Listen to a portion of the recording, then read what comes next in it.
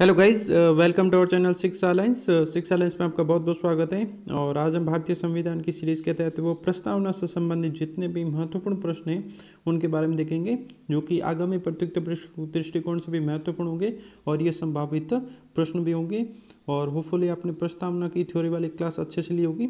और इसमें जितने भी महत्वपूर्ण संभावित क्वेश्चन बनेंगे या जिनसे संबंधित तथ्य बनेंगे, उनसे संबंधित संपूर्ण तथ्यों पर हम बात करेंगे।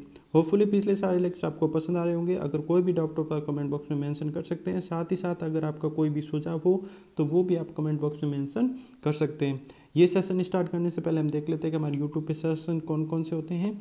तो हमारा डेली करंट अफेयर का सेशन होता है जो एमसीक्यू बेस्ड होता है, ये सुबह पाँच बजे होता है।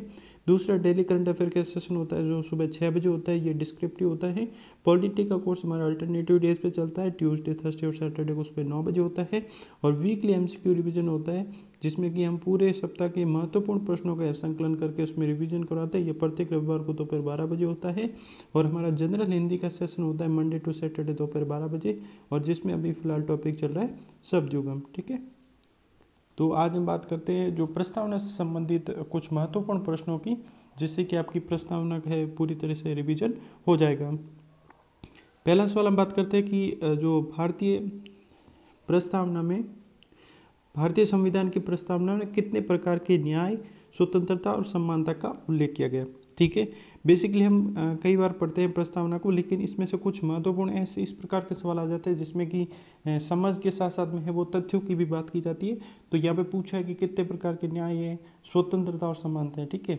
हम पढ़ते हैं जब हम भारत के लोग भारत के संविधान को ठीक है तो उसमें जितने भी ये शब्द अब कई बार ये होता है कि इसको अरेंज करिए, इस सबको यहाँ से इस तरफ़ अरेंज करिए, आगे से पीछे या पीछे से आगे की तरफ़। ये सारे तथ्य याद होनी चाहिए। तो एक बार हम देख लेते हैं, भारतीय संविधान की प्रस्तावना कोई देख लेते हैं। इसमें लिखा हुआ है कि हम भारत के लोग, भारत को एक संपूर्ण प्रभुत्व संपन्न। अब यहाँ पे ये जो वर्ड लिखे हुए इनका भी आपको ध्यान में रखना है। क्योंकि पिछले कई एग्ज़ाम्स में ये क्वेश्चन यहाँ से पुट भी हुआ है कि जो संपूर्ण प्रभुत्व संपन्न दे देंगे, उसके बाद में लोकतंत्रात्मक गणराज्य दे देंगे, फिर समाजवादी, फिर पंथ निरपेक्ष। फिर इनको बोलेंगे कि जैसा प्रस्तावना में सही क्रम में लिखा गया, वैसे इसको भी सही क्रम में वो निर्धारित करिए या अरेंज करना है। तो यहाँ से भी सवाल बनेगा, जितने भी यहाँ से पॉसिबिलिटी है सवाल बनाने की, बनने की, वो मैं यहाँ बता दूँगा। तो उसको है वो अच्छे तरह से आपको देखना है। तो पहला सवाल यहीं से यहाँ से बनेगा, लेकिन इससे पहले ये ध्यान रखना है कि एक एग्ज़ाम्स में या दो एग्ज़ाम्स में ऐसा भी क्वेश्चन आया है कि जो भारतीय संविधान की प्रस्तावना है, उसमें भारत शब्द का उल्लेख कितनी बार किया गया है? तो ये चीज़ भी ध्यान रखना है। तो भारत शब्द का उल्लेख एक तो यहाँ पे भी किया गया है और एक यहाँ पर किया गया है, ठीक है? तो भारत शब्द का उल्लेख दो बार है। इसका है वो ध्यान रखना। भारत शब्द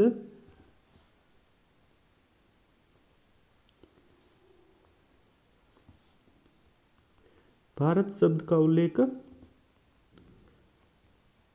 कितनी बार किया गया? दो बार। ठीक है? इसका भी ध्यान रखना। हो सकता है किसी एग्ज़ाम्स में ये क्वेश्चन है, वो रिपीट भी हो जाए।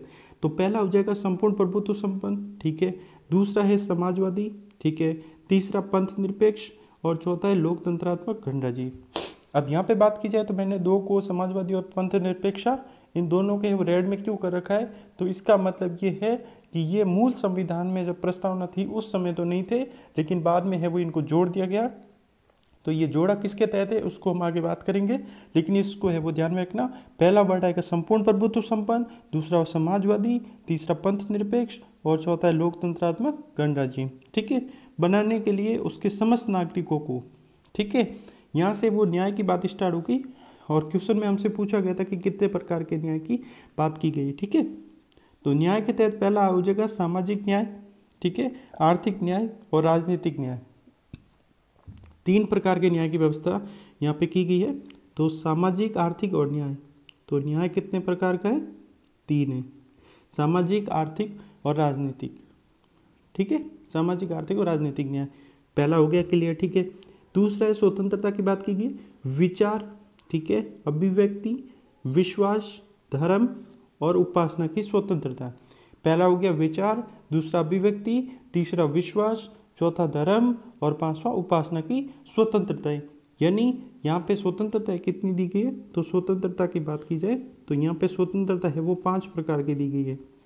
ठीक है? क्लियर अब बात करनी है समानता की। स्वतंत्रता हो गया। अब बात करनी है समानता की। तो समानता ये, प्रतिष्ठा और अवसर की समानता। प्रतिष्ठा और अवसर। यानी एक प्रतिष्ठा की समानता है, दूसरी अवसर की समानता है। ठीक है? तो यहाँ पे तीसरा आपने ये भी देख लिया, समानता। तो समानता कौन सी है? प्रतिष्ठा और अवसर की समानता। दो प्रकार की है तो इस हिसाब से हमारा विकल्प नंबर तीन, यानी स इसका सही उत्तर होगा। ठीक है? तो यहाँ पे इस तरह से आपको क्वेश्चन को हल करना है, जिससे कि साथ ही साथ इस क्वेश्चन के फैक्ट भी हल हो जाए और अदर फैक्ट भी है वो, अन्य तथ्य भी है वो हल हो जाए। ठीक है? पहला सवाल हमारा यहाँ से ये बन गया था कि भारत शब्द का उल्लेख भारतीय संविधान की प्रस्तावना कितनी बार किया गया है? तो भारतीय संविधान की प्रस्तावना में भारत शब्द का उल्लेख दो बार किया गया है और उसके बाद में हमने देखा कि कुछ वर्ड आएँगे, तीन चार जिनको है वो अरेंज करने के लिए बोलेंगे। तो पहला वर्ड आएगा संपूर्ण प्रभुत्व संपन्न ठीक है? दूसरा समाजवादी, तीसरा पंथ निरपेक्ष और चौथा है लोकतंत्रात्मक गणराज्य। अब यहाँ पे चीज़ ये ध्यान रखनी है कि समाजवादी और पंथ निरपेक्ष है वो बाद में जोड़े गए न कि मूल संविधान के समय प्रस्तावना में नहीं थे। और एक वर्ड और है जो कि अखंडता जो मैंने यहाँ पे हाईलाइट कर रखा है। तो ये तीन वर्ड है वो बाद में संशोधन करके जोड़े गए और एक चीज़ ये ध्यान रखना कि भारतीय संविधान की प्रस्तावना में अब तक केवल एक ही बार है वो संशोधन हुआ है। ठीक है? ये चीज़ का ध्यान में रखना है। एक बार हम थोड़ा सा आगे का भी पढ़ लेते कि उन सब में व्यक्ति की गरिमा और राष्ट्र की एकता और अखंडता को सुनिश्चित करने वाली बंधुता बढ़ाने के लिए दृढ़ संकल्प होकर इस संविधान सभा में आज 26 दिनांक 26 नवंबर उन्नीस को ईस्वी मिति माघ शुक्ल सप्तमी संवत 2006 विक्रमी को एदत द्वारा इस संविधान को अंगीकृत, अधिनियमित और आत्म अर्पित करते हैं। ठीक है? ये है भारतीय संविधान की प्रस्तावना। ठीक है? तो इससे संबंधित जितने भी सवाल थे, देख लिए। तो यहाँ पे विकल्प नंबर है वो स, सही हो जाएगा। ठीक है? और यहाँ से इतनी ही पॉसिबिलिटी है भारतीय संविधान की प्रस्तावना से जो महत्वपूर्ण प्रश्न अगर बनेगा तो यहाँ से इस प्रकार से बनते हैं। अब देखते हैं हमारा, इसमें कुछ तथ्य देख लेते हैं। एक बार हम देख लेते हैं कि हमने बात की थी तथ्य में तो जो प्रस्तावना है, उसको है वो उद्देश्य का भी बोला जाता है। ठीक है? उद्देश्य का। तो यहाँ पे एक उद्देश्य प्रस्ताव लाया गया था। ठीक है? उद्देश्य प्रस्ताव। इसके बारे में सुना ही होगा। उद्देश्य प्रस्ताव। अब इनसे संबंधित क्या है कि दो चीज़ें आती हैं। एक तो इसमें आता है कि सवाल जिसमें कन्फ्यूज़न होता है कि प्रस्तुत कब किया गया और पारित कब किया गया। ठीक है? तो हम देखते हैं कि प्रस्तुत कब किया गया। ये एक प्रस्तुत, एक पारित। तो इनकी दोनों की डेट अलग है। तो यहाँ पे कन्फ्यूज़ नहीं होना है। प्रस्तुत है, वो पहले किया जाता है, ज़ाहिर सी बात है तो प्रस्तुत किया गया था इसको तेरह दिसंबर तेरह दिसंबर उन्नीस सौ छियालीस को है, वो इसको प्रस्तुत किया गया। अब ये पारित कब हुआ? तो ये पारित हुआ था बाईस जनवरी उन्नीस को 22 जनवरी उन्नीस को है वो उद्देश्य प्रस्ताव को पारित कर दिया गया और उद्देश्य प्रस्ताव ही ये प्रस्तावना का है वो आधार बना है। भारतीय संविधान में प्रस्तावना का आधार है वो उद्देश्य प्रस्ताव ही बना जो नेहरू जी द्वारा रखा गया था। प्रस्तुत अगर बात की जाए तो तेरह दिसंबर उन्नीस सौ छियालीस होगा और पारित कब किया गया तो बाईस जनवरी उन्नीस होगा। ठीक है? अब यहाँ पे जो केशवानंद भारती केस है केशवानंद, भारती केश। ठीक है? अब यहाँ पे देखिए चीज़ ये है कि जो प्रस्तावना है, ये संविधान के मूल ढांचे के तहत है, मूल ढांचे के तहत है, मूल ढांचे के तहत। अब मूल ढांचे के तहत में इसका मतलब ये हो जाए कि आप प्रस्तावना में संशोधन कर सकते हैं। लेकिन जो संविधान के बेसिक स्ट्रक्चर है, उसको वो हानि नहीं पहुँचे। वहाँ तक तो आप संशोधन कर सकते हो। हानि नहीं पहुँचे, तब तक तो आप संशोधन कर सकते हो। अगर संविधान के मूल ढांचे को अगर कहीं पे भी क्षति होती है तो वैसा कोई भी संशोधन आप नहीं कर सकते। यह न केवल प्रस्तावना के लिए, बल्कि पूरे संविधान में किसी भी प्रावधान के लिए यही चीज़ होती है। ठीक है? तो इस चीज़ का है वो ध्यान में रखना है। अब बात करते हैं नेक्स्ट सवाल की। तो समाजवादी और पंथ निरपेक्ष शब्द भारतीय संविधान की प्रस्तावना में किस संविधान संशोधन के द्वारा शामिल किया गया। अब यहाँ पे बात करें, हमने पीछे देखे थे कि जो कौन कौन से वर्ड मैंने हाईलाइट करके एक बार फिर दोबारा देख लेते जो संविधान संशोधन हुआ था, फोर्टी सेकेंड, ठीक है 1976 में। तो उसमें तीन वर्ड जोड़े गए थे, ठीक है, समाजवादी, दूसरा पंथ निरपेक्ष और एक था अखंडता ये तीनों के तीनों है, वो फोर्टी सेकेंड अमेंडमेंट और ये इसको है, वो मिनी संविधान भी कहा जाता है, इस चीज़ का ध्यान रखना, क्योंकि बहुत सारे वो संशोधन हुए थे इसके तहत तो मिनी संविधान भी इसको बोला जाता है। तो अगर बात की जाए कि समाजवादी और पंथ निरपेक्ष शब्द है, वो भारतीय संविधान की प्रस्तावना में कौन से संशोधन द्वारा शामिल किए गए तो इसका विकल्प होगा बी सही बयालीसवें संविधान संशोधन द्वारा है, इसको शामिल किया गया। और बहुत सारे जब संविधान संशोधन ऐसे हुए थे, जो कि संविधान के लिए सही नहीं थे उनको है वो वापस सही करने के लिए वो जो अमेंडमेंट किया गया था, वो किया गया था forty fourth amendment forty fourth amendment एक चीज़ के लिए वैसे भी फ़ेमस है, जो इसके तहत है, वो 1978 में हुआ था। संपत्ति के अधिकार को मूल अधिकार से विधिक अधिकार बना दिया, ठीक है? मूल अधिकार से विधिक अधिकार बना दिया। इसको हम जनरली ये कहते हैं कि संपत्ति के अधिकार को हटा दिया, संपत्ति के अधिकार को हटा दिया। नहीं, संपत्ति का अधिकार है लेकिन उसको मूल अधिकारों की श्रेणी से हटाकर है, वो विधिक अधिकारों की श्रेणी में है, उसको डाल दिया गया। ये चीज़ है, ना कि हटा दिया गया, ठीक है? तो समाजवादी और पंथ निरपेक्ष शब्द भारतीय संविधान की प्रस्तावना में और इसके साथ साथ ही अखंडता को भी forty six amendment forty sorry forty second amendment ये 1976 में हुआ था, इसके तहत वो शामिल किया गया था, ठीक है? ये चीज़ के लिए। उसके बाद में बात करते हैं। निम्नलिखित में से कौन सी स्वतंत्रता का उल्लेख भारतीय संविधान की प्रस्तावना में नहीं किया गया? अब ये क्वेश्चन आई लेवल में भी आ चुका है तो इस चीज़ का ध्यान में रखना है कि विचार की स्वतंत्रता तो है, ज़ाहिर सी बात है, ठीक है? विश्वास की स्वतंत्रता भी है, ज़ाहिर सी बात है, और विचार प्रकट करने यानी अपने को अभिव्यक्ति करने की भी स्वतंत्रता प्राप्त है। लेकिन आर्थिक स्वतंत्रता कहीं पर भी उल्लेख नहीं किया गया। आर्थिक स्वतंत्रता का उल्लेख नहीं किया गया। हमने जब क्वेश्चन स्टार्ट किया था, उसमें ये पढ़ा था कि कितने प्रकार के न्याय है, कितने प्रकार की स्वतंत्रता है और कितने प्रकार की समानता है, उसका उल्लेख किया गया है। पाँच प्रकार की स्वतंत्रता थी, जिसमें कहीं पर भी आर्थिक स्वतंत्रता का उल्लेख नहीं किया गया था। तो इसका विकल्प होगा वो द सही होगा। इसको एक बार देख लेते हैं कि यहाँ पे विश्वास, विचार, अभिव्यक्ति, विश्वास, धर्म और उपासना की ही स्वतंत्रता की बात की गई है। कहीं पर भी आर्थिक स्वतंत्रता की बात है, वो नहीं की गई है, ठीक है? तो इस चीज़ को ध्यान रखना।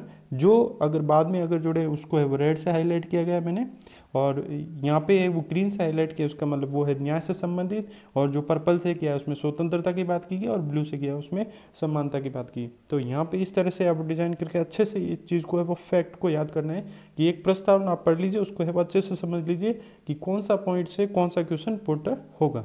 ठीक है? उसके बाद में बात करते हैं भारतीय संविधान में कौन से भाग को संविधान की आत्मा कहा जाता है? ठीक है, अब यहाँ पे किसी का कोटेशन है, वो नहीं है, ठीक है? सीधा पूछा गया है कि भारतीय संविधान की आत्मा किसको कहा जाता है? ठीक है तो यहाँ पे तो उत्तर हो जाएगा प्रस्तावना, ठीक है? भारतीय संविधान की आत्मा, अगर सीधे तौर पे पूछा जाए तो यहाँ पे हो जाएगा प्रस्तावना। लेकिन इसमें कभी कभार क्वेश्चन पुट ऐसे हो जाता है कि अंबेडकर ठीक है? अंबेडकर के अनुसार भारतीय संविधान की आत्मा क्या है? तो वो हो जाएगा आर्टिकल बत्तीस। संवैधानिक उपचारों का अधिकार, जिसके तहत आप रिटे लगा सकते हैं, ठीक है? जिसके तहत है वो बंदी प्रतिष्ठण हो गया, परमादेश हो गया, उत्प्रेषण हो गया, प्रतिषेध हो गया, अधिकार प्रच्छा ठीक है? ये पाँच प्रकार के आप रिटे आर्टिकल 32 के साथ लगा सकते हैं। अब 32 के डेट रिटे लगाई जाती है, वो सुप्रीम कोर्ट द्वारा लगाई जाती है, ठीक है? सुप्रीम कोर्ट द्वारा है, वो रिटे लगाई जाती है। लेकिन अगर एक इसमें फैक्ट और भी जान लेते हैं कि आर्टिकल 226 भी होता है, ठीक है? जिसके तहत है वो हाई कोर्ट है, वो रिटे लगा सकता है। अब यहाँ पे रिटों में अगर कंपैरिजन किया जाए कि आप सुप्रीम कोर्ट को रिट में ज़्यादा व्यापक क्षेत्र है या हाई कोर्ट का ज़्यादा व्यापक क्षेत्र है, ठीक है? तो इसमें भी एक चीज़ है, वो फैक्ट ध्यान रखना कि जो हाई कोर्ट है, इसका है वो व्यापक क्षेत्र है। रेट जारी करने में इसका क्षेत्र व्यापक है। अब रेट जारी करने में हाईकोर्ट का क्षेत्र व्यापक कैसे है? तो हाईकोर्ट के क्षेत्र में बात की जाए तो हाईकोर्ट मूल अधिकारों के साथ साथ अन्य अधिकारों पर भी रेट जारी कर सकता है। लेकिन आर्टिकल 32 के तहत है, वो सुप्रीम कोर्ट केवल मूल अधिकारों से संबंध में ही रिट जारी कर सकता है, अन्य अधिकारों के संबंध में रिट जारी नहीं कर सकता है, लेकिन हाई कोर्ट है, वो मूल अधिकारों के साथ साथ अन्य अधिकारों के संबंध में भी है, वो रिट जारी कर सकता है। ठीक है तो यहाँ पे हमने बात की थी कि भारतीय संविधान के आत्मा केवल सीधा प्रश्न पूछा है तो तो उत्तर हो जाएगा प्रस्तावना। लेकिन अगर अंबेडकर के हिसाब से होगा तो वो होगा संवैधानिक उपचारों का अधिकार, ये अंबेडकर ने कहा था कि अगर भारतीय संविधान की है, वो आत्मा कैसे को कहा जाएगा तो वो आर्टिकल थर्टी टू यानी संवैधानिक उपचारों का अधिकार है। तो इस फ़र्क को यहाँ पे समझना है, ठीक है? अब बात करते हैं हमारे यूट्यूब पे सेशन कौन सा कब होता है? डेली करंट अफेयर का सेशन होता है, जो कि एमसीक्यू बेस्ड होता है, सुबह पाँच बजे होता है। डेली करंट अफेयर का सेशन डिस्क्रिप्टिव होता है, सुबह छः बजे होता है। पॉलिटिक का कोर्स हमारा अल्टरनेटिव डेज़ पे चलता है ट्यूसडे थर्सडे और सैटरडे को सुबह नौ बजे होता है।